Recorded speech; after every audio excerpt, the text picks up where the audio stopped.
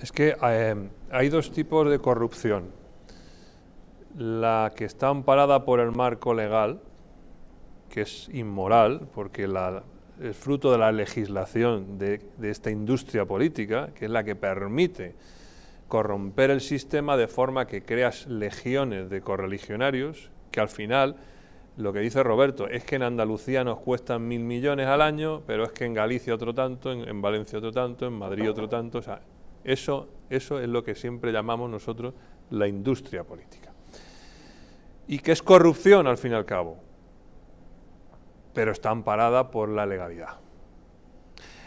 Pero luego está la que ya es fuera de la legalidad. Es decir, dentro de esa industria política están ya los que se pasan de golfos, los que utilizan su estatus jurídico privilegiado para trincar todavía más.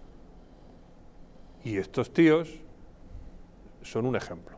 Estos de los seres de Andalucía son un ejemplo, y los de la eh, Gürtel y la Púnica son otro ejemplo, y así todos los años irá apareciendo algo nuevo.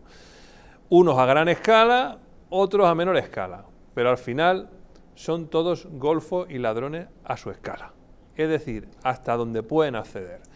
Si tú eres un golfo que tiene acceso a mil millones de euros de subvenciones, pues lo más normal es que hagas una trama del copón y te rodees ahí de muchos golfos y eso acabe siendo pues un caso como este.